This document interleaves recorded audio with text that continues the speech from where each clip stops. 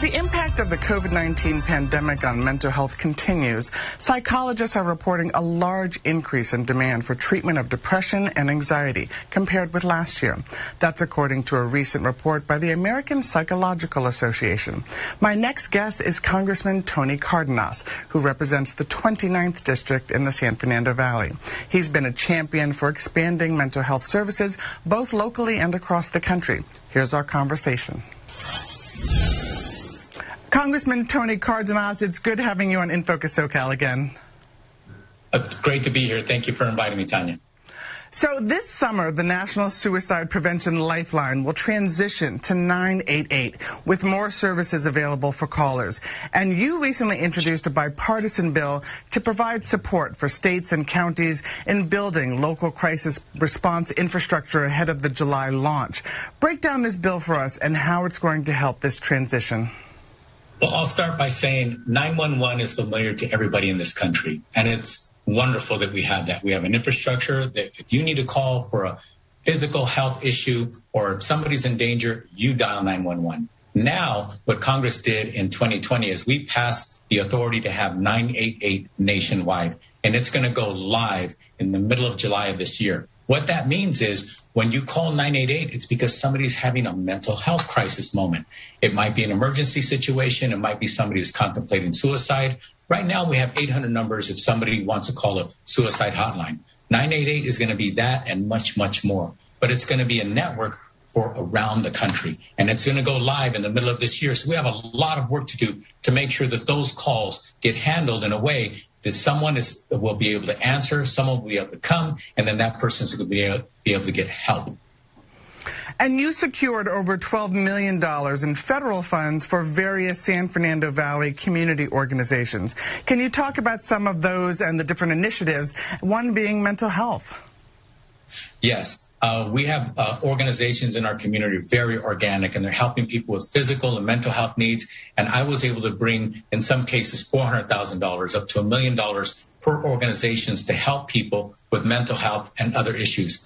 I'm very proud to say that this year we were able to get over $12.5 million to build more bridges and roads and green space and after school programs and job training programs and much, much more. So it's really important that we understand that when you elect people, that's the kind of thing that you want us to do. And I'm very proud to say that we were able to do it. I want to give a shout out to our brand new United States Senator, who's actually from the San Fernando Valley, from Pacoima, and that's Senator Alex Padilla. He was able to bring an additional 12 million or more to the San Fernando Valley in the budget that we just passed. So the San Fernando Valley is going to have a lot of good things happening because we were able to deliver.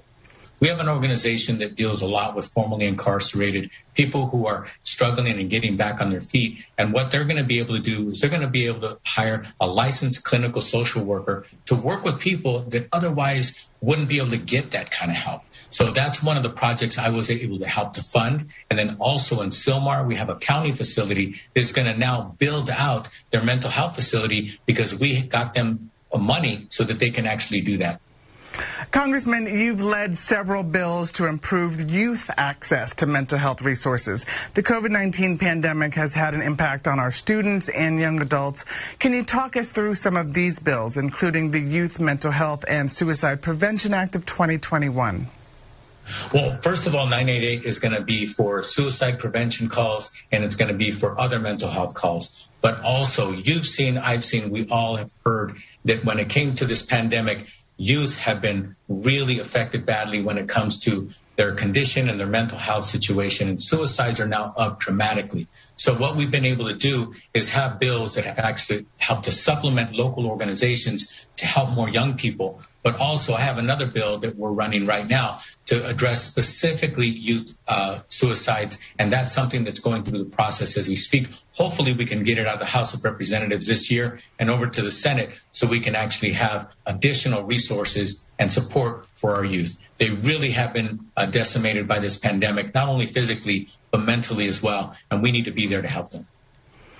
You've also led efforts to improve resources for mental health professionals to respond to mental health emergencies instead of law enforcement. Los Angeles has a pilot program called the Crisis Incident Response through Community Led Engagement that does this. Why are actions like these critical?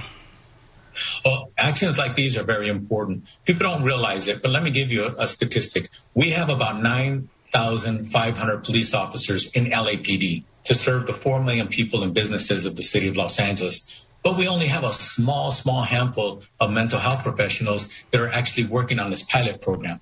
What I want to see happen, I want to see us in Los Angeles have 500, 1,000, 1,500 or more mental health professionals. And I would challenge anybody who wants to be the mayor of Los Angeles that if you do that, you are going to bring down crime. You're going to make our communities safer. We're going to bring down the homeless problem. It is going to be a paradigm shift for the life, not only of the people who we're going to help, but for everybody involved in the community who wants to see everybody treated with dignity and respect and to get the help that they need.